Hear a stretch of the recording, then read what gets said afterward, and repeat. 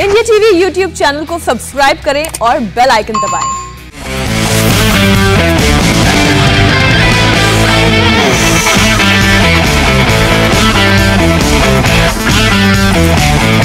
नमस्कार, आज की बात में आपका स्वागत है। आज जो तस्वीरें, जो वीडियो में आपको दिखाऊँगा, वो आपको चौंका देंगे। वो आपको डरा देंगे। लेकिन आपको सावधान करना ज़रूरी है। लेकिन मैं आपको बता देता हूँ, मैं आपको न तो लाशों के ढेर दिखाऊँगा, न कब्रिस्तान और शमशान घाट की तस्वीरें दिखाऊँगा। लेकिन आज आप जो देखेंगे, वो उससे भी ज़्यादा खतरनाक हो सकता है, उससे भी ज़्यादा डरावना हो सकता है। आज मैं आपको दिखाऊँगा कि हमारे देश में कोरोना का टेस्ट करने की किट किन कंडीशंस में तैयार की जाती है? जब आप आरटीपीसीआर टेस्ट कराने जाते हैं रैपिड एंटीजन टेस्ट कराने जाते हैं तो आपकी नाक में, आपके मुँह में जो कॉटन बड डाला जाता है, वो कितने अनहाइजेनिक तरीके से तैयार किया जाता है, कितनी लापरवाही से तैयार किया जाता है, ये देखकर आप हैरान हो जाएँगे। जिस कॉटन बड से सैंपल इकट्ठा किया जाता है वो जिस जगह तैयार होता है, जिस तरह से तैयार होता है, वो आपके लिए किस कदर खतरनाक हो सकता है, इसका आप अंदाज़ा भी नहीं लगा सकते।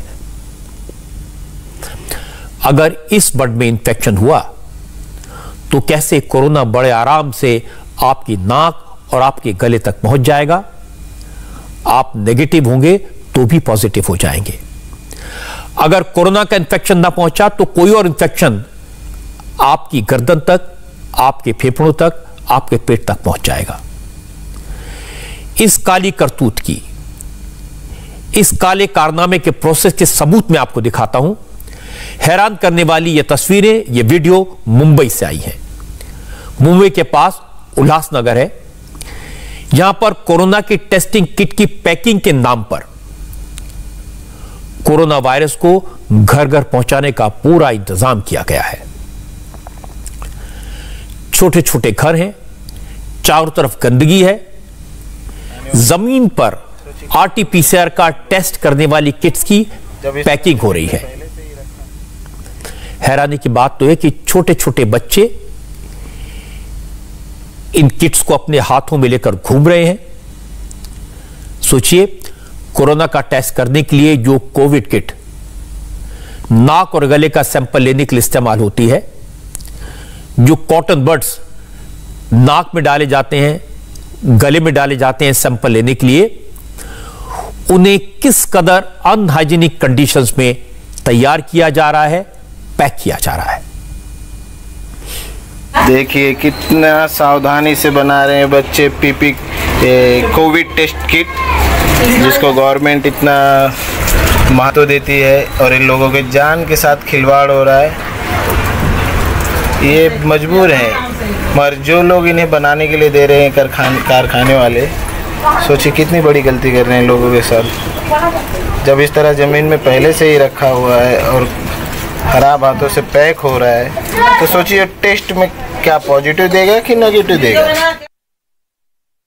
एक किट को पूरी तरह पैक करते हैं आप लोग? पचास पचास गिनते। और एक किट पे कितना देता है पैक करने पे आप लोग घर में? एक हज़ार पे बीस रुपए। एक हज़ार पे बीस रुपया देता है। और इसको सफ़ाई मतलब ज़मीन में रख के आराम से धीरे से पैक करते हो बच्चे लोग सब पैक करते हैं? ज़मीन पे नहीं थाली थाली थाली में रखते हैं या कुछ भी रखते हाँ, हैं अभी देखा वहाँ ज़मीन ज़मीन में था। बच्चों के हाथ सब साफ़ रहते हैं आपके? हाँ। सैनिटाइज रहते हैं? हाँ। मैंने देखा अभी कई तरह से कई रूप से देखा है। तो अभी ये जितने बच्चे यहाँ बना रहे हैं ये सब लोग सब एकदम बढ़िया से बना रहे हैं। सैनिटाइजर लगा ये कहाँ रखा है वहाँ से सैनिटाइजर मेरे को दिखाओ जरा। नहीं नहीं घर में नहीं यहाँ। ये चीज़ यहाँ पैक हो रहा है और सरकारी रूप दे रहे हैं इसको। ठीक है ठीक है ठीक है। इन लोगों के जान के साथ कितना बढ़िया से रिकॉर्ड हो। रहा है। देखिए ये बच्चे ला रहे पीपी किट बनाने के लिए। इनके हाथों से कोविड टेस्ट होगा। आप देखिए बच्चे थालियों में कॉटन रखकर बर्ड्स बनाने में लगे हैं। और फिर इन बर्ड्स की पैकिंग का काम भी छोटे छोटे बच्चों के हाथ में है। कॉटन के स्टरलाइजेशन की बात तो बिल्कुल दूर की है। छोड़ दीजिए। यहाँ किसी ने हाथ तक सैनिटाइज नहीं किए हैं। सैनिटाइजर तो घर के अंदर रखा है। अगर आसपास एक भी व्यक्ति ऐसा हुआ, जिसे कोरोना का इन्फेक्शन है तो यहाँ बनने वाली सारी बर्ड्स में वायरस पहुँच जाएगा। और फिर ये कितने लोगों को इन्फेक्ट करेगा? किस कदर इन्फेक्ट करेगा? कोई नहीं कह सकता। और इस तरह की किट्स उल्लासनगर के एक नहीं कई घरों में बनाई जा रही हैं। असल में पिछले कुछ दिनों में टेस्टिंग किट्स की डिमांड बढ़ी है।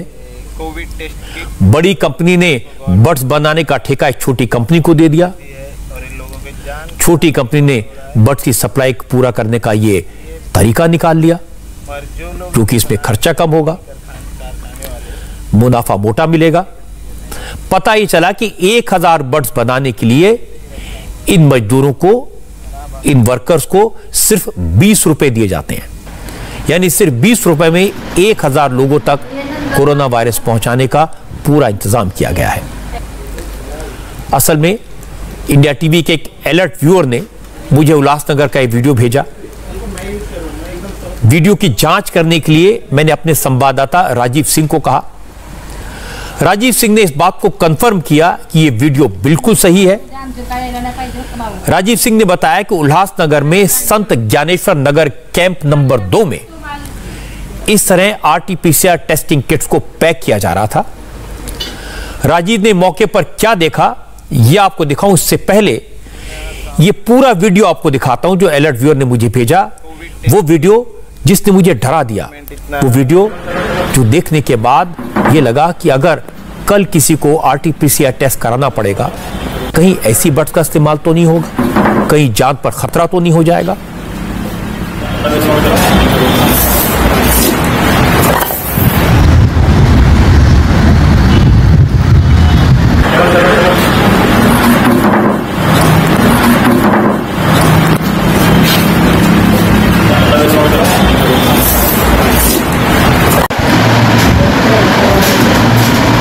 हे नंतर माल कोण बनवणार हाँ आम्ही टपट टाकतो माल ये जगह देखिए जहाँ पर ये कॉटन बर्ड्स तैयार किए जा रहे हैं। ये हाथ देखिए ये कंडीशंस देखिए।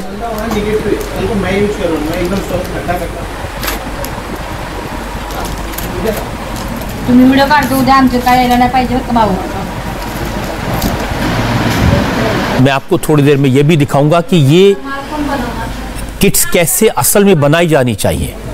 कितना सावधानी से बना रहे हैं बच्चे पीपी कोविड टेस्ट किट, जिसको गवर्नमेंट इतना महत्व देती है और इन लोगों के जान के साथ खिलवाड़ हो रहा है। ये मजबूर हैं। मगर जो लोग इन्हें बनाने के लिए दे रहे हैं कारखान, कारखाने वाले, सोचिए कितनी बड़ी गलती कर रहे हैं लोगों के साथ। जब इस तरह ज़मीन में पहले से ही रखा हुआ है और खराब हाथों से पैक हो रहा है। तो सोचिए, टेस्ट में क्या पॉजिटिव देगा कि नेगेटिव देगा? एक किट को पूरी तरह पैक करते हैं आप लोग? पचास पचास गिन और एक किट पे कितना देता है पैक करने पे आप लोग घर में? एक हज़ार पे बीस रुपए। एक हज़ार पे बीस रुपया देता है। और इसको सफ़ाई मतलब ज़मीन में रख के आराम से धीरे से पैक करते हो बच्चे लोग सब पैक करते हैं? ज़मीन पे नहीं थाली में। थाली थाली में रखते हैं या कुछ भी रखते हाँ, हैं अभी देखा वहाँ ज़मीन ज़मीन में था। बच्चों के हाथ सब साफ़ रहते हैं आपके? हाँ। सैनिटाइज रहते हैं? हाँ। मैंने देखा अभी कई तरह से कई रूप से देखा तो है अभी ये जितने बच्चे यहाँ बना रहे हैं ये सब लोग सब एकदम बढ़िया से बना रहे हैं। सैनिटाइजर लगा ये कहाँ रखा है वहाँ से सैनिटाइजर मेरे को दिखाओ जरा। दिखाते रहे नहीं नहीं घर में नहीं यहाँ। ये चीज़ यहाँ पैक हो रहा है और सरकारी रूप दे रहे हैं इसको। ठीक है ठीक है ठीक है। इन लोगों के जान के साथ कितना बढ़िया से रिकॉर्ड अच्छा। हो रहा है। देखिए ये बच्चे ला रहे पीपी किट बनाने के लिए। इनके हाथों से कोविड टेस्ट होगा। आरटीपीसीआर की किट बनाने की ये तस्वीरें वाकई में डराने वाली हैं। हमारे संवाददाता राजीव सिंह जब उल्लासनगर पहुँचे, लोगों से बात करने की कोशिश की तो कोई सामने नहीं आया। जिन घरों में यह काम हो रहा था, उन्होंने दरवाजे बंद कर लिए। कोई बात करने को तैयार नहीं था। उन्हें पता था कि वो पकड़े जाएँगे। अब चूँकि राजीव ने प्रशासन को इस बात की खबर दे दी थी, इसलिए पुलिस और एफडीए डिपार्टमेंट के लोग रेड मारने पहुँच गए। कई घरों से कोरोना टेस्ट में इस्तेमाल की जाने वाली बर्ड्स को जब्त किया गया। इस बीच राजीव सिंह ने इंडिया टीवी के उस अलर्ट व्यूअर को भी ढूंढ लिया, जिसने वीडियो शूट किया था और मुझे भेजा था। ये वीडियो शूट करने वाले का नाम सुरेश यादव है। सुरेश का कहना है कि तीन दिन पहले उन्होंने तस्वीरें अपने मोबाइल फ़ोन में रिकॉर्ड की थी और इसके बाद से उन्हें धमकियाँ मिलने लगी। मुंबई से सटे उल्लासनगर इलाके में संत ज्ञानेश्वर नगर नाम की बस्ती में कई मकानों में आरटीपीसीआर टेस्ट करने वाली जो स्ट्रिप थी, वो बनाई जा रही थी, पैक की जा रही थी। ऐसे यहाँ पर आपको कई मकान दिखेंगे, जिनको जिनके घरों के दरवाजे इस वक्त बंद हैं। कई लोगों से हमने बात करने की कोशिश की, लेकिन मीडिया के कैमरों को देखकर उन्होंने अपने घरों के दरवाजे बंद कर लिए हैं। दरअसल उल्लासनगर पुलिस इसके अलावा एफडीए और महानगर पालिका की तरफ़ से इस इलाके में अलग अलग घरों में कार्रवाई की गई और जो स्ट्रिप थी, उन तमाम स्ट्रिप को जब्त किया गया। यहाँ पर आप देखिए, बहुत सारे ऐसे बस्ती में मकान हैं, जिन मकानों में ये स्ट्रिप बनाई जा रही थी। वीडियो जो है, मैंने ही बनाया है। और ये करीबन तीन दिन पहले, तीन से चार दिन पहले मैंने वीडियो देखा। यहाँ कुछ बच्चे लोग ये किट बना रहे थे। बात ये है कि इनको ये लाइसेंस दिया किसने? गवर्नमेंट रही बनाने के लिए पैकिंग के लिए या कारखाने या ठेकेदार को दिया गया है या गरीबों का ये लोग खाली यूज़ कर रहे हैं उन्हें प्रोटोकॉल समझाया नहीं गया कि पैकिंग कैसे करना है क्या करना है क्या नहीं करना है और जो कि ये अनलीगल है पूरी तरह। और यहाँ पे देखा मैंने देखा कि कुछ बच्चे जिनको सर्दी जुकाम या कुछ है अगर वह उन बच, वह बच्चे अगर हाथ लगा रहे हैं उस चीज़ों को तो उसके बाद में सोचिए कि वो कितने लोगों को बीमार कर रहा है। और जब मैंने ये चीज़ों किया तो कई लोगों ने मुझ पर धमकियाँ भी या कई ब्लेम भी लगाए। जिस इलाके में इस तरह के बट्स बन रहे थे, वो उल्लासनगर म्यूनिसिपल कॉरपोरेशन के अंडर आता है। राजीव सिंह ने महानगर पालिका के असिस्टेंट कमिश्नर से कोरोना किट की बट्स बनाए जाने के बारे में पूछा, हाई, अनहाइजीनिक कंडीशंस के बारे में पूछा। तो उन्होंने कहा यह मामला तो एफडीए का है इससे महानगर पालिका का क्या लेना देना? फिर वो कहने लगे, ये बड़ा मामला नहीं है, फिर भी जाँच करा लेंगे अगर गड़बड़ी होगी तो एक्शन होगा। ये पर्टिकुलर उल्लासनगर महापालिका क्षेत्र के अंदर ये घटना घट रही है या घटी है, लेकिन इनका प्रत्यक्ष उल्लासनगर महानगर पालिका से कोई ताल्लुकात नहीं है, क्योंकि ये जो कार्य है, ये शासन द्वारा जो अन्न और प्रशासन विभाग है, उनका ये काम है, उन्होंने शायद उनको इस काम के लिए कुछ टेंडर निविदा या कॉन्ट्रैक्ट दिया होगा। उसकी छानबीन करना वो डिपार्टमेंट का काम है। देखने से तो ये एकदम इलीगल लगता है। उसको कोई कानून का आधार नहीं लगता है। इससे कोई लोगों के जान से खिलवाड़ करने का ये छोटा सा प्रयास इस द्वारा दिख रहा है। उसकी पूरी छानबीन होगी, जाँच होगी और जो गलत काम है, जो गलत जिन्होंने किया होगा वो इंक्वायरी के निर्णय के तहत उनको उनको, उनके ऊपर कड़ी कार्रवाई होगी असिस्टेंट कमिश्नर साहब कह रहे हैं कि ये लोगों की जान से खिलवाड़ करने का छोटा सा मामला हो सकता है। बड़ी बात नहीं है। लेकिन हकीकत में ये कितना खतरनाक है।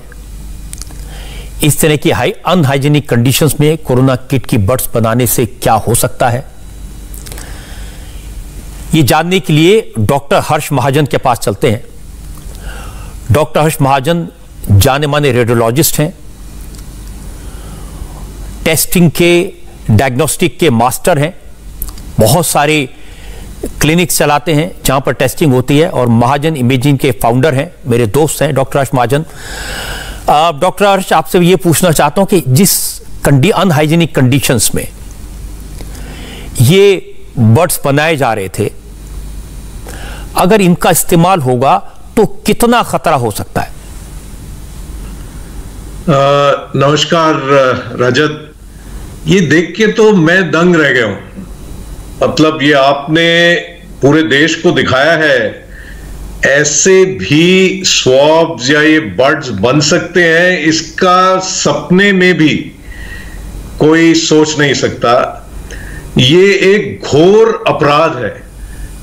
एक तो ये कि अनहाइजीनिक कंडीशंस हैं और वो स्वॉब भी क्या बना रहे होंगे। दूसरा, जो आपके कॉरेस्पॉन्डेंट ने भी बहुत सही बोला कि इसमें टेस्ट रिज़ल्ट नेगेटिव आएगा या पॉजिटिव आएगा, क्योंकि पहले ही अगर उस पर कंटेमिनेशन हो रखा है, आप जानते हैं कि महाराष्ट्र पूरे देश में कोरोना फैला हुआ है।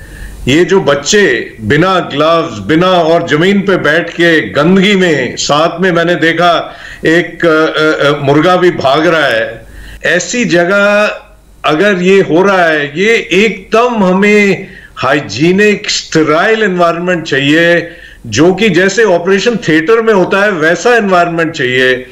तो ये एक तो गलत रिज़ल्ट आने का चांस तो है ही है। दूसरा, जिस आदमी के नाक में और गले में आप ये डालेंगे सैंपल लेने के लिए, उसको भी इन्फेक्ट कर सकता है। उसको बैक्टीरियल इन्फेक्शन हो सकता है और अगर ये खुद इनको कोविड हुआ हुआ है, किसी को भी, जो ये पैक कर रहे हैं डायरेक्ट हाथों से कर रहे हैं तो ये हम वो कोविड फैला सकते हैं, कोरोना फैला सकते हैं रादर देन कि हम टेस्ट करें।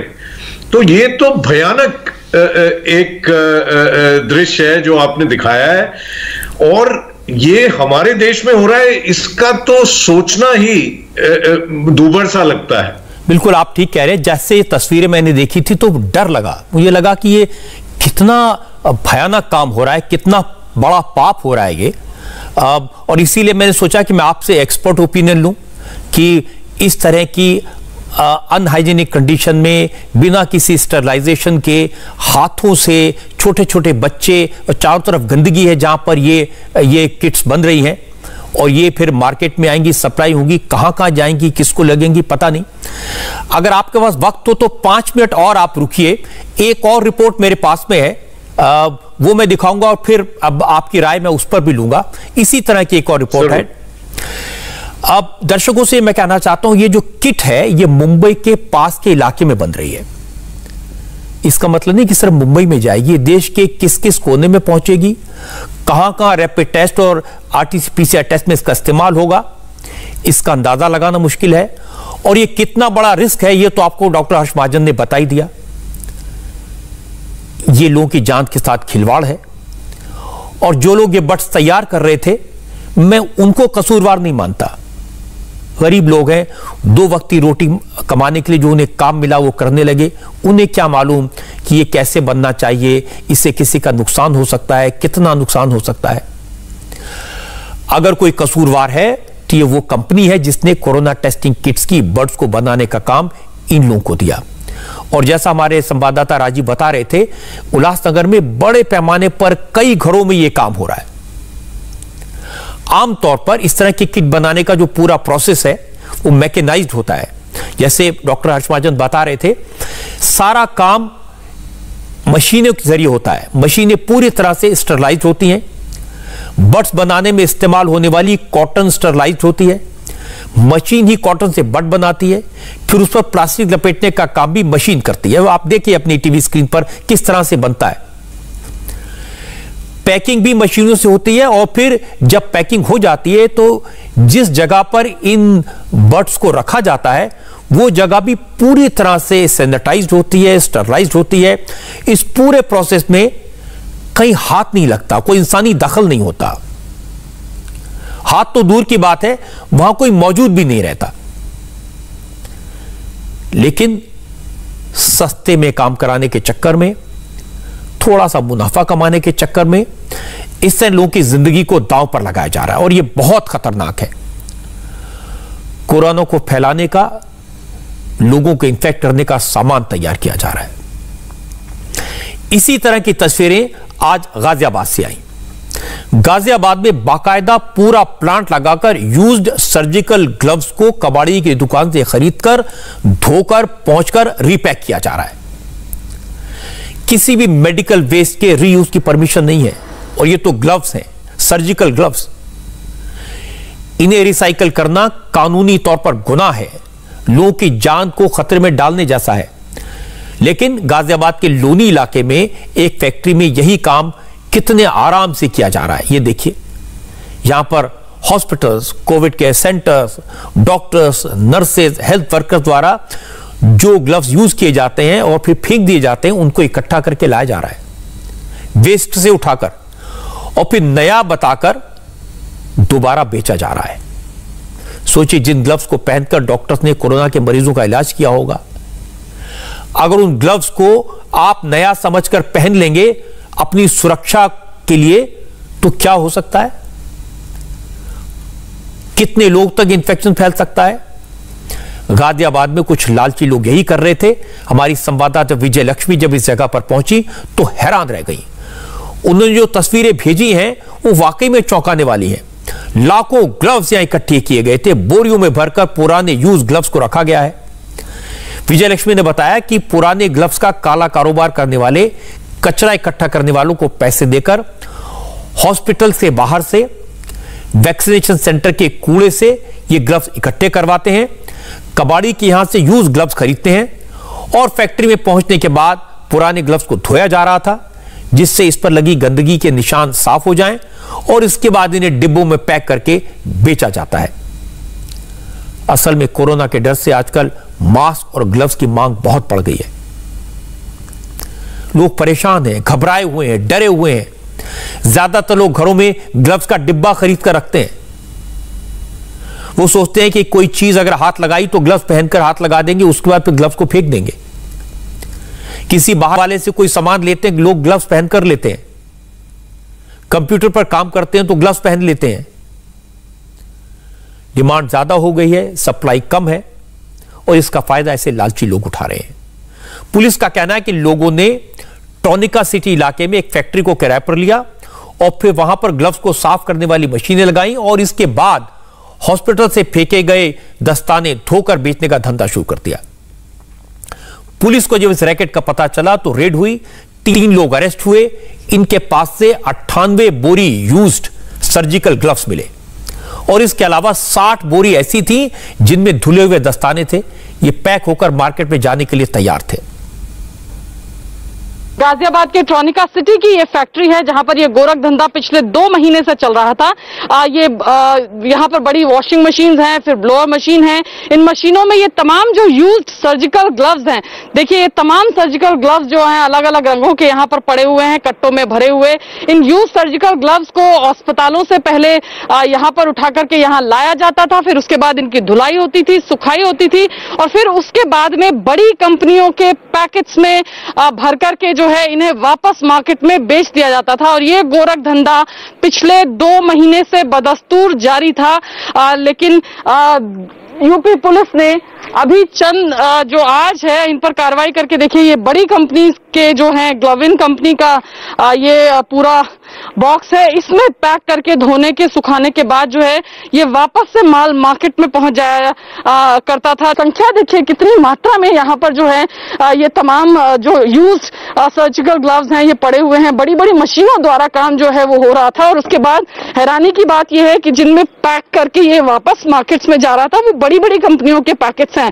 यानी कोई भी ग्राहक जब इनको खरीदेगा तो एक विश्वास के साथ खरीदेगा कि वो एक सर्टिफाइड एक एक एक रिनाउंड ब्रांड का जो सर्जिकल ग्लव है, वो खरीद रहा है, लेकिन इससे बिल्कुल अनजान वो रहेंगे लोग कि ये जो सर्जिकल ग्लव्स हैं, जो उन तक पहुँच रहे हैं, वो यूज़ हैं, और उनकी जान को या उनको प्रोटेक्ट करने की बजाय और खतरे में और संक्रमण में लाने वाले ये ग्लव्स जो हैं, वो साबित होंगे। एक फैक्ट्री जो कि कुछ समय पहले तक बंद थी, उसको किराए पर लेकर कुछ लोगों ने वहाँ पर एक यूनिट डाली थी, जो कि बिल्कुल पूरी तरह से अवैध थी। और जब उसकी चेकिंग की गई तो उस पर पता चला कि काफ़ी भारी मात्रा में ग्लव्स सर्जिकल ग्लव्स जो होते हैं, जो कि हॉस्पिटल्स में प्रयोग किए जाते हैं, लगभग पौने 200 कट्टे ग्लव्स के बरामद हुए, जिसमें से कुछ धुले हुए भी थे और कुछ गंदे थे। तो ये यूनिट में लोग क्या करते थे कि एक ग्लव्स जो सर्जिकल ग्लव्स इकट्ठा करते थे अलग अलग स्थानों से उन ग्लव्स को यहाँ पर एक जगह इकट्ठा करके, फिर वहाँ पर इनके पास वॉशिंग मशीन्स कई सारी थी और ड्रायर्स लगे हुए थे, जहाँ पर इनको ये साफ़ करके पुनः ये पैक करते थे। तो इसके साथ काफ़ी पैकिंग मटेरियल बरामद हुआ है, लगभग 800 पैकिंग बॉक्स बरामद हुए हैं, जिसमें इन ग्लव्स को ये दोबारा से पैक करते थे और फिर से ये इसको मार्केट में बेचते थे। तो इसमें हम लोगों ने तीन अभियुक्त गिरफ़्तार किए हैं, विधिक कार्रवाई इसमें की जा रही है। अन्य लोग जो इस चेन में शामिल हैं, उनको हमने चिन्हित कर रहे हैं। और बहुत ही जल्दी हम लोगों को चिन्हित करेंगे और इसमें और भी चीज़ें देखेंगे कि ग्लव्स के अलावा और भी इस तरह की कौन सी चीज़ें हैं जिनको ये लोग बना रहे हैं। और पूरी चेन को हम बहुत जल्दी ढूंढ लेंगे और इस तरह की कठोर कार्रवाई इसमें आगे भी जारी रहेगी। कठोर धाराओं में हमने मुकदमा पंजीकृत किया है और बहुत ही इसमें अच्छी कार्रवाई हम अभियुक्तों के विरुद्ध करेंगे। चलिए, एक तो ये अच्छी बात है कि पुलिस ने वादा किया कि कठोर कार्रवाई करेंगे। पुलिस ने इस मामले की गंभीरता को समझा है और ये भी कहा कि और ऐसी कौन सी चीज़ें बना रहे हैं? क्या ये लोग सिरेंजेस तो रिसाइकल नहीं कर रहे? क्या ये लोग ट्यूब्स तो रिसाइकल नहीं कर रहे? इसकी भी जाँच करेंगे। अब एक बार फिर से डॉक्टर हर्ष महाजन के पास चलते हैं। डॉक्टर महाजन, मैं आपकी मदद चाहूँगा हमारे दर्शकों को यह बताने के लिए कि इस तरह के रिसाइकल ग्लव्स अगर इस्तेमाल किए जाएँगे तो उसका क्या असर हो सकता है? कितना नुकसान हो सकता है? देखिए रजत, ये तो मौत का सामान है, क्योंकि ये हॉस्पिटल से उठाए हुए हैं जो कि यूज्ड हैं। किस बीमारी में, किस कारण, किस व्यवस्था में इनको इस्तेमाल किया गया पहले? क्या वो मरीज़ संक्रमित था? क्या वो मरीज़ को कोई और बीमारी थी और यूज़ भी कहाँ किया? बॉडी के किस अंग में किया? इसका कुछ पता नहीं, ये टोटली इन्फेक्टेड है। और चाहे आप इन्हें धोएँ, चाहे रिपैक करें, वो जो इसमें खामी है, जो संक्रमण है, जो इन्फेक्शन है, वो रहेगा ही। और उसको फिर हम समझ रहे हैं कि ये स्टराइल ग्लव है, एक अच्छी कंपनी से आए हैं। और उसको आप ये सोचिए कि दोबारा अगर किसी ऑपरेशन के समय यूज़ किए, किसी और प्रोसीजर के लिए यूज़ किए तो हम उस मरीज़ को इन्फेक्ट कर देंगे। तो ये छोटे से मुनाफे के लिए ये तो जैसे मैंने कहा, ये मौत का सामान ही है। अगर पेट में किसी का इन्फेक्शन है ब्रेन में इन्फेक्शन है हार्ट का सर्जरी होना है, वहाँ पे ये डाल दिए, क्योंकि कंपनी अच्छी है, खरीदने वाले को पता नहीं है। तो इसीलिए जो पुलिस वालों ने भी कहा कि हम पूरी चेन को पकड़ेंगे वो बहुत ज़रूरी है क्योंकि ये कहाँ तक जाती है? सिर्फ़ यहीं तक सीमित नहीं है ये तो आगे इनके डिस्ट्रीब्यूटर होंगे जो कि बड़े बड़े अस्पतालों में सप्लाई कर रहे हैं। सो ए, मतलब आपने दो सीन दिखाए आज और मेरे को लगता है आपने मेरी आँखें तो खोली। पर सारे देश की आँखें खोल दी और आपके कॉरेस्पॉन्डेंट्स को बधाई देना चाहूँगा, जिन्होंने ऐसा गोरख धंधा जो चल रहा है, जो कि खिलवाड़ है, हमारे लोगों की सेहत के साथ और जो ऑलरेडी बीमार है, जो ट्रीटमेंट के लिए पहुँचे हैं, उनको और बीमार करें, इससे और बदतर बात क्या हो सकती है? मुझे तो हर्ष हैरानी होती है, ना, डर लगता है, ये बिल्कुल चौंकाने वाली तस्वीरें, दोनों चीज़ें आपने देखी हैं किस तरह से कॉटन बर्ड्स बनती हैं और किस तरह से ग्लव्स को इस्तेमाल किया जा रहा है। कहीं अ, मुझे लोगों ने बताया कि सिरिंजेस का इस्तेमाल किया जा रहा है उनको रिसाइकिल किया जा रहा है। अ, हम उसकी जाँच कर रहे हैं वो भी जल्दी लोगों के सामने लाएँगे। ये इतना खतरनाक इतना डराने वाला कल्पना भी नहीं कर सकते दुनिया के किसी और मुल्क में तो कोई सोच भी नहीं सकता कि ऐसा अपराध कोई करेगा। बिल्कुल सही कहा आपने, रजत। ये कल्पना के भी बियॉन्ड है। और समझ नहीं आता कि ऐसा कोई कैसे कर सकता है? कुछ कॉन्शियंस होता है। यहाँ तो बिल्कुल इन्होंने सब कुछ ताक पे लगा दिया। और अब, ये लोगों को, ये ऐसा नहीं कि लोग जानते नहीं कि ये कितना खतरनाक काम कर रहे हैं। और बड़ा दुख होता है आज जब लोग दर्द से तड़प रहे हैं, कोरोना वायरस से लोग परेशान हैं, कहीं ऑक्सीजन के लिए भटक रहे हैं, कोई हॉस्पिटल में बेड के लिए भटक रहे हैं, वो इन ग्लव्स का इस्तेमाल करें, वो लोग अपना टेस्ट कराने के लिए ऐसे स्वॉप का इस्तेमाल करें, कितने दुख की बात है। ये आरटीपीसीआर सबसे सोफिस्टिकेटेड टेस्ट है। ये मॉलिकुलर टेस्ट है और इस इतने सोफिस्टिकेटेड टेस्ट को अगर कोई देखे कि स्वॉब ऐसे बन रहे हैं तो पूरा विश्वास उठ जाए कि ये टेस्ट का रिज़ल्ट क्या आएगा और इससे हम आगे ट्रीटमेंट क्या कर पाएँगे। ये ये पूरा लोगों की जिंदगियों से खिलवाड़ है। और ऐसा आपने दिखाया, इन पे कड़ी से कड़ी यू नो व्यवस्था का असर होना चाहिए ताकि ये आगे ना कर पाए। और जैसे आपने कहा, ये बच्चों की या उन गरीब परिवारों की कोई गलती नहीं है। वो वो ये कल्पना नहीं कर सकते कि ये कैसे इस्तेमाल होगा और इसका क्या असर पड़ेगा। ये तो जो फैक्ट्री मालिक हैं या जो कंपनियाँ हैं, जो स्वॉप सप्लाई कर रही हैं उन पे ज़िम्मेदारी जाती है और कहीं बाकी टेस्टिंग किट भी ऐसे तो नहीं बन रहे ये ये भी आ, मतलब कल्पना करना ही इम्पॉसिबल है। जी। डॉक्टर महाजन बहुत बहुत शुक्रिया आपका इस एक्सपर्ट एडवाइस के लिए। और मैं आपको ये वादा कर सकता हूँ हम इस स्टोरी की तह तक जाएँगे और जो भी अपराधी हैं उनको जेल तक पहुंचाकर दम लेंगे। बहुत बहुत शुक्रिया आपका। बहुत बहुत शुक्रिया। जो लोग इस्तेमाल किए हुए ग्लव्स को धो पहुँच कर फिर से बेच रहे हैं, वो समाज के दुश्मन हैं। लेकिन यह सोचकर चिंता होती है कि जिस देश में इस्तेमाल किए हुए ग्लव्स रिसाइकल किए जा रहे हों, जहाँ स्वाप का सैंपल लेने वाले कॉटन बर्ड्स को हाथों से बनाया जाता हो अनहाइजीनिक कंडीशंस में बनाया जाता हो, वहाँ इंफेक्शन नहीं फैलेगा तो और क्या होगा? थोड़े से पैसे के लालच में ये लोग कितना बड़ा पाप कर रहे हैं। किस तरह से लोगों में बीमारियाँ फैलाने का काम करते हैं। ये देखकर दुख होता है और आपने देखा कि डॉक्टर हर्ष महाजन जैसे एक्सपर्ट शॉक्ड थे। उनको यकीन ही नहीं हो रहा था इस तरह की बात हमारे देश में हो सकती है।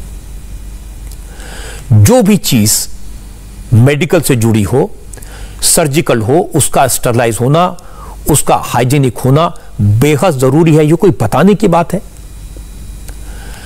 लेकिन मैंने देखा है कि हमारे देश में जब भी किसी चीज़ की डिमांड बढ़ती है तो उसे लेकर बेईमानी शुरू हो जाती है। उसकी कालाबाजारी शुरू हो जाती है, ब्लैक मार्केटिंग शुरू हो जाती है, लोग नकली बनाकर बेचने लगते हैं।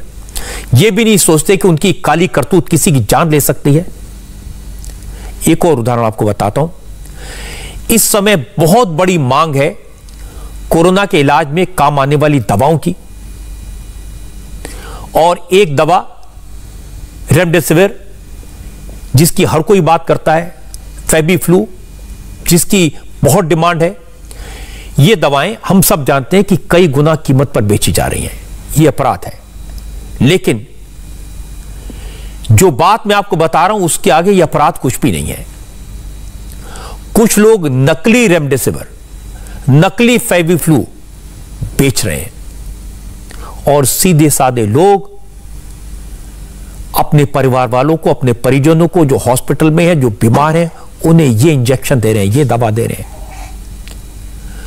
लोग दवाई की शीशी में पानी भरकर चालीस हज़ार, पचास हज़ार से लेकर एक लाख में बेच रहे हैं। मजबूर लोगों को, परेशान लोगों को, दुखी लोगों को।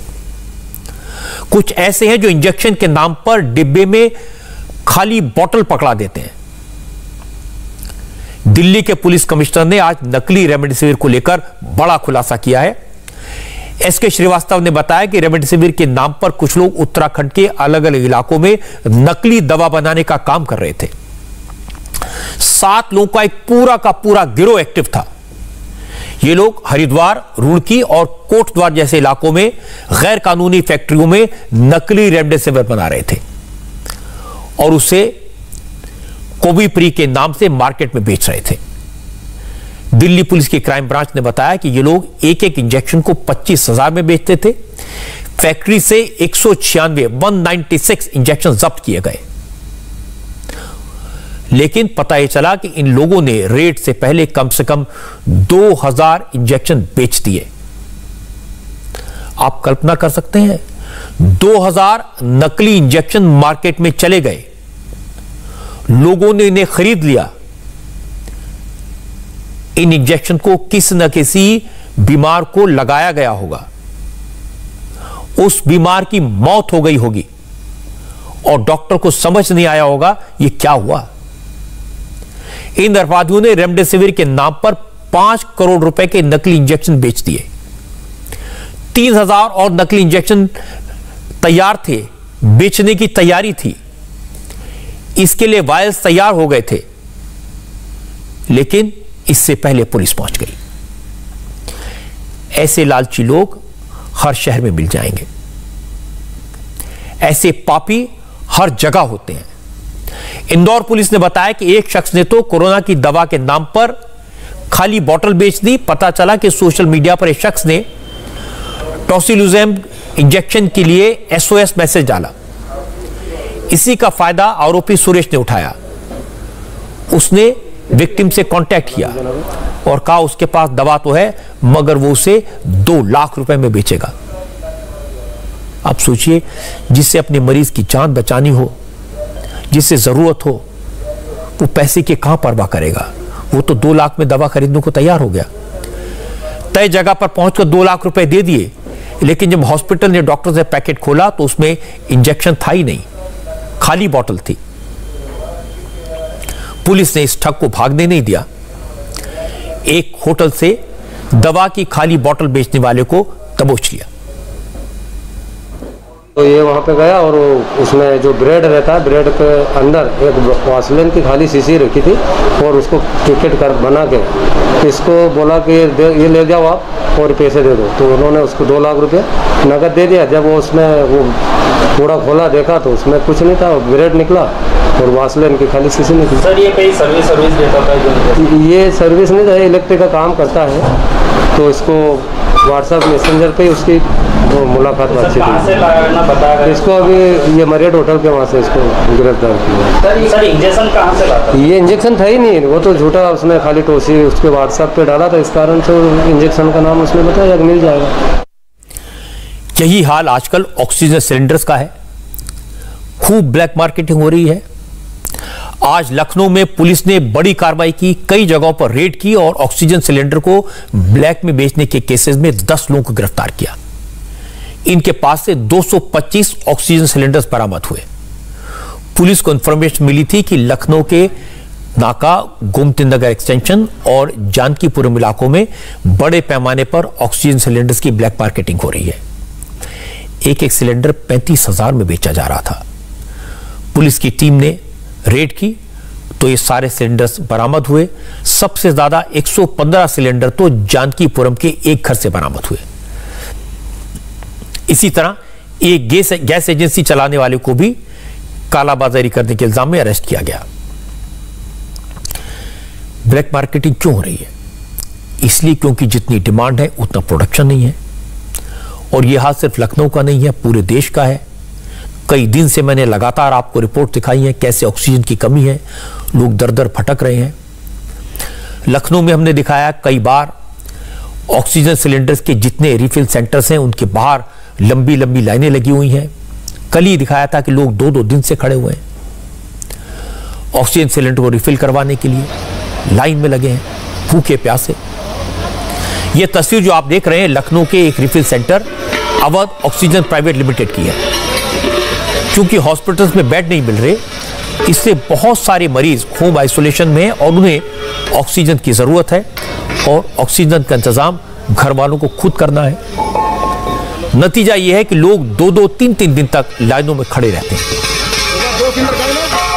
मेरी मदर एडमिट है, आज तीन दिन से लाइन में लगा हुआ हूँ। सिलेंडर आता है तो उतर नहीं पाता है उतरता है तो क्रेन टूट जाती है। इतनी भ्रष्ट भ्रष्टाचार है यहाँ पे कि कुछ कहने को हद नहीं है। योगी माता जी को मैंने घर में एडमिट कर रखा है अस्पतालों का इतना बुरा हाल है और योगी जी बोल रहे हैं यहाँ कोई चीज़ की दिक्कत नहीं है सब पूरा है सब कमी है मतलब हद है। तीन दिन से हम चौबीस घंटे से यहाँ लाइन में खड़े हैं कल से एक बजे से और जो अभी तक गैस नहीं मिल पाया है। और जो है हमारे हमारे दोस्त की अब्बू जो है एडमिट थे हमारे बहुत मित्र थे खास तो उनके हेल्प में मैं खड़ा हूँ। हाँ हमारा भाई है अरसद कहाँ पे? हम भैया जो खैराबाद से आए बीसीएम हॉस्पिटल यहाँ बहुत बड़ी दिक्कत है गैस की परसों से जो सुबह लाइन से लगे हैं हम। शाम को जो है वापस हो जाते हैं गैस नहीं मिल रही है। अब आज भी आए हैं आज देखो गैस आ गई हो सकता मिल जाए। हालत खराब है। चिंता की बात है। और जब कमी होती है लोगों की जान मुश्किल में होती है तो फिर ब्लैक मार्केटिंग भी होती है और हादसे भी होते हैं। आज लखनऊ में यही हुआ। तीन लोगों की जान चली गई। अपनों की जान बचाने के लिए ये लोग लाइन में लगे थे।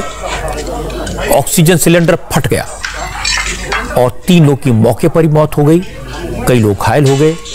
रिफिलिंग सेंटर तो पूरी तरह से बर्बाद हो गया। और दुख की बात है कि जिस रिफिलिंग सेंटर में आज ब्लास्ट हुआ कल हमारी संवाददाता रुचि कुमार ने इसी रिफिलिंग सेंटर के बाहर खड़े लोगों की तकलीफ़, उनका दर्द आपको तक पहुँचाया था। और आज चिन्हट के उसी रिफिलिंग सेंटर में यह हादसा। लखनऊ के चिन्हट इलाके में देवा रोड पे ये केटीई प्लांट है, जहाँ ऑक्सीजन सिलेंडर्स रिफिल किए जा रहे थे। आज उसी में से एक सिलेंडर यहाँ फट गया है। और ये धमाका इतना ज़बरदस्त था कि जितने सिलेंडर्स यहाँ उस समय थे सब एक के ऊपर एक गिरे और एक तरह का ब्लास्ट हो गया जिसमें अभी तक तीन लोगों की जान जा चुकी है और पाँच लोग घायल हैं जिसमें से दो की हालत गंभीर बताई जा रही है। कितना ज़बरदस्त ब्ला, ब्लास्ट था धमाका था। यहाँ के जो हालात हैं उसको देख के समझ में आ रहा है सारे सिलेंडर्स गिरे पड़े हैं इधर से उधर। जो यहाँ पे शेड था वो पूरा टूट के नीचे आ गया है और इस प्लांट में काम करने वाले दो लोगों की भी इसमें जान गई है।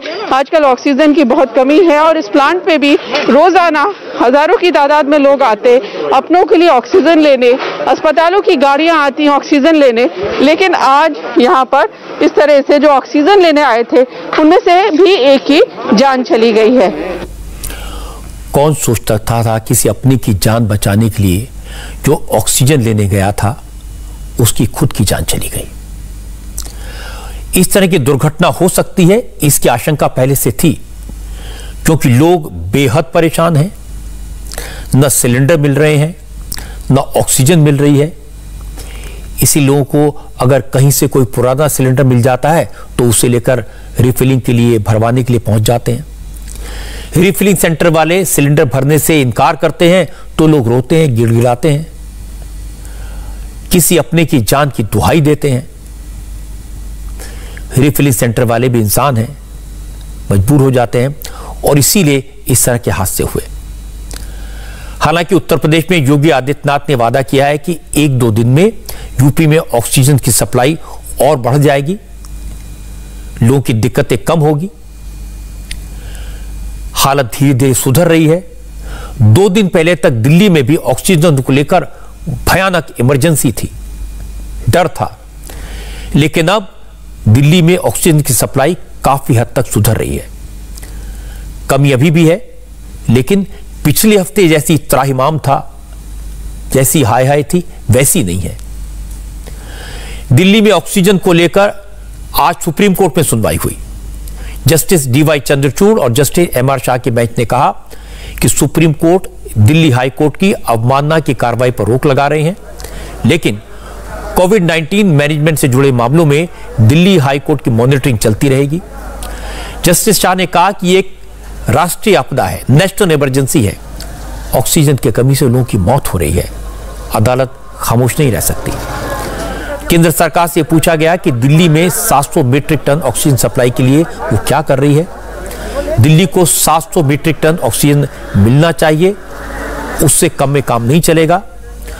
सुप्रीम कोर्ट ने केंद्र सरकार से कल सुबह साढ़े दस बजे तक अपना प्लान कोर्ट में पेश करने को कहा।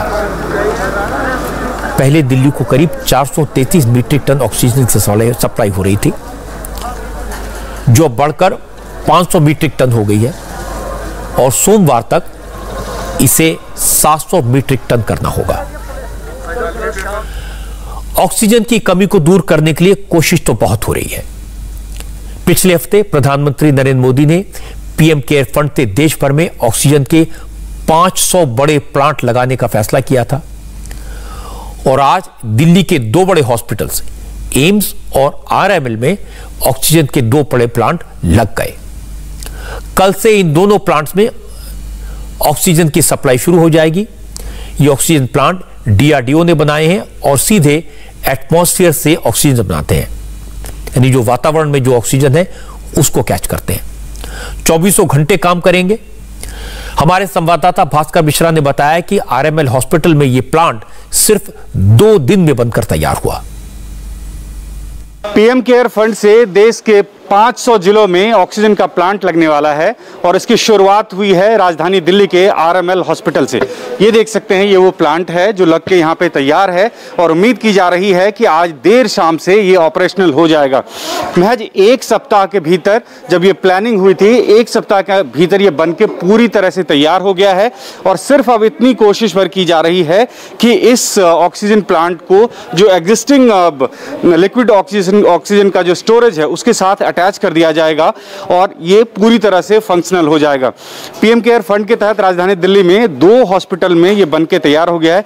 एक एम्स के ट्रॉमा सेंटर में और दूसरा आरएमएल हॉस्पिटल में। आप अंदाज़ा लगाइए किस तेज़ी से इस पर काम किया गया है कि कल शाम ये पूरी मशीनरी यहाँ पे पहुँचा था और महज कुछ ही घंटों के भीतर इसको सेटअप कर दिया गया। सारी तैयारी पहले से ही की जा चुकी थी और अब आखिरी रूप दिया जा रहा है। खासियत इस प्लांट की ये है कि ये जो आसपास के वातावरण में ऑक्सीजन है, उसी से जनरेट करके ऑक्सीजन को सप्लाई करेगा। पीएम केयर फंड से ऐसा ही एक प्लांट दिल्ली के एम्स में लगाया गया है। ये प्लांट एक मिनट में एक हज़ार लीटर ऑक्सीजन का प्रोडक्शन करता है, जिससे एक दिन में करीब 190 मरीजों को पाँच लीटर ऑक्सीजन की सप्लाई की जा सकती है। दिल्ली एनसीआर में ऐसे पाँच प्लांट लगाए जा रहे हैं। बाकी तीन ऑक्सीजन प्लांट भी अगले दो तीन दिन में बनकर तैयार हो जाएँगे। इस वक्त कोशिश तो हर तरह से हो रही है। सरकार देश में ऑक्सीजन के प्रोडक्शन को बढ़ाने के लिए कोशिश कर रही है। पीएसए प्लांट लगाए जा रहे हैं। नाइट्रोजन प्रोड्यूस करने वाले प्लांट्स को ऑक्सीजन प्लांट में तब्दील किया जा रहा है। मुकेश अंबानी और गौतम अडानी जैसे बड़े बड़े उद्योगपति भी ऑक्सीजन की सप्लाई में मदद कर रहे हैं। विदेशों से ऑक्सीजन के सिलेंडर मंगाए गए हैं। आज इंडियन नेवी का शिप, आईएनएस तलवार बहरीन से लिक्विड ऑक्सीजन के दो क्रायोजेनिक कंटेनर्स लेकर बेंगलुरु पहुँचा। आईएनएस तलवार चौवन टन लिक्विड ऑक्सीजन लेकर आया है। इसके अलावा आईएनएस एरावत सिंगापुर से और आईएनएस कोलकाता कुवैत से लिक्विड ऑक्सीजन से भरे सिलेंडर, क्रायोजेनिक टैंक और दूसरे मेडिकल इक्विपमेंट लेकर भारत आ रहे हैं। नेवी की एक और शिप आईएनएस शार्दुल को कोची से ऑक्सीजन कंटेनर लाने के लिए भेजा गया है। इस वक्त इंडियन नेवी ने नौ वॉरशिप्स को अलग अलग पोर्ट्स पर भेजा है, जिससे ज़रूरत पड़ने पर मदद पहुंचाई जा सके। इंडियन नेवी ऑपरेशन समुद्र सेतु टू के तहत विदेशों से मदद लाने के काम में लगी है।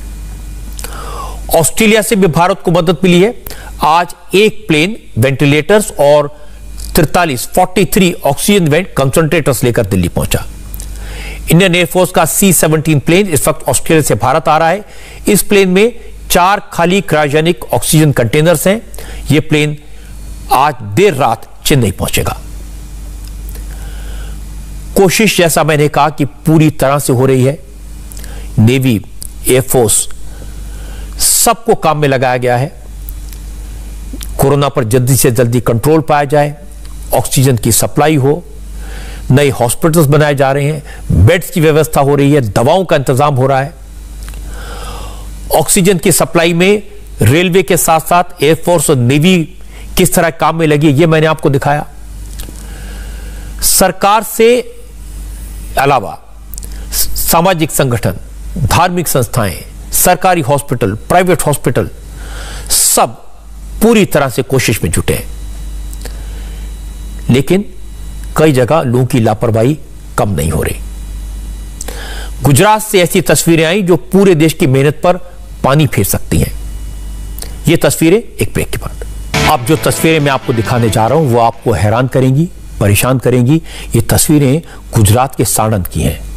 नवापुरा और निधरात गाँव की ये महिलाएँ सिर पर कलश लिए बलिया देव मंदिर में जलाभिषेक करने जा रही हैं।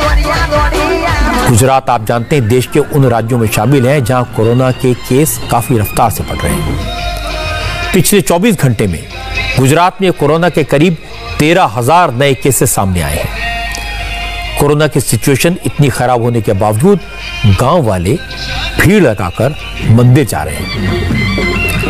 न तो किसी ने मास्क पहना है और न सोशल डिस्टेंसिंग की किसी को परवाह है। ये सीधे सीधे कोरोना के वायरस को न्योता देना है। और जब आपको इनके मंदिर जाने की वजह पता चलेगी तो आप चौंक जाएँगे। आश्चर्य होगा। दरअसल इन दोनों गाँवों में पिछले पंद्रह दिन में कोरोना का कोई नया केस सामने नहीं आया।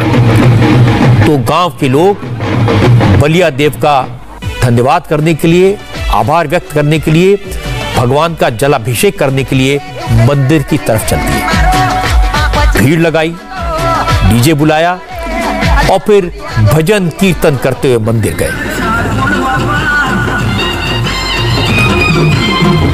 अब इन्हें कौन बताए कि 15 दिन तक कोरोना का नया केस इसलिए सामने नहीं आया क्योंकि लोगों ने सावधानी बरती होगी, घर में रहे होंगे। लेकिन 15 दिन की मेहनत पर इन्होंने एक ही दिन में पानी फेर दिया। पता नहीं इस भीड़ में ये लोग कोरोना के वायरस से कैसे बचे होंगे। जब पुलिस को पता चला तो 30 लोगों को अरेस्ट कर लिया गया, जिसमें नवापुरा गाँव का सरपंच भी शामिल है। जो गलती साणंद के लोगों ने की, वो आप भूल कर भी मत करिएगा। आज ही एक्सपर्ट ने बताया कि हमारे देश में कोरोना के छह वेरिएंट मिल चुके हैं। नए वेरिएंट, पिछले साल वाले वेरिएंट से 30 गुना खतरनाक है। लेकिन कोरोना के इन खतरनाक वेरिएंट से आप कैसे बच सकते हैं, इसका तरीका भी एक्सपर्ट ने बताया। यह तरीका मैं आपके साथ शेयर करूँगा एक ब्रेक के बाद। एक्सपर्ट्स इस बात की जाँच में लगे हैं कि कोरोना की दूसरी लहर का कहर ज़्यादा खतरनाक क्यों है। उनका कहना है कि कोरोना के नए वेरिएंट ज़्यादा इंफेक्शियस हैं, ज़्यादा तेज़ी से फैलते हैं, ज़्यादा डेंजरस हैं। कोरोना का सबसे लेटेस्ट वेरिएंट है एपी वेरिएंट यानी आंध्र प्रदेश वेरिएंट कोरोना का यह नया रूप UK variant South Africa variant Brazilian variant से 15 गुना ज़्यादा तेज़ी से फैलता है। लेकिन आज national centre for disease control के डायरेक्टर डॉक्टर सुजीत ने कहा कि इससे घबराने की ज़रूरत नहीं है, क्योंकि स्टडी में यह साफ़ हुआ है कि कोरोना का कोई वेरिएंट मास्क को पार करके आपके नाक या आपके मुँह तक नहीं पहुँच सकता। कोई भी वेरिएंट हो, कोई भी वेरिएंट में वो क्षमता नहीं होती कि हमारे मास्क को पेनिट्रेट कर पाए या हमारे कोविड अप्रोप्रिएट बिहेवियर से पार पा पाए। तो ये हमारे लिए मुख्य हमारा एक धरातल है, जिसके ऊपर हमें खड़े रहना है कि Covid appropriate behaviour testing strategies quick isolation preventing the crowd from intermingling and also making the people vaccinated in time and with priority should be our the key and should be the should be the our strategy for the areas where we are finding variants also doctors की इस बात को याद रखिए कि कोई भी virus mask को पार करके आपकी नाक या आपके मुँह तक नहीं पहुँच सकता। अगर मास्क पहना है सोशल डिस्टेंसिंग का आप पालन कर रहे हैं तो कोरोना वायरस आपका कुछ नहीं बिगाड़ पाएगा। इसलिए खुद भी मास्क पहनिए, दूसरों को भी मास्क पहनने के लिए प्रेरित कीजिए और जो लोग मास्क न पहने, उनको दूर से ही नमस्कार कर दीजिए। तभी कोरोना से आप बच पाएँगे। नमस्ते, मैं हूँ मीनाक्षी जोशी। वीडियो और खबरों से अपडेट रहने के लिए India TV YouTube channel subscribe करें, बेल आइकन दबाना ना भूलें। जुड़े रहें इंडिया टीवी के साथ।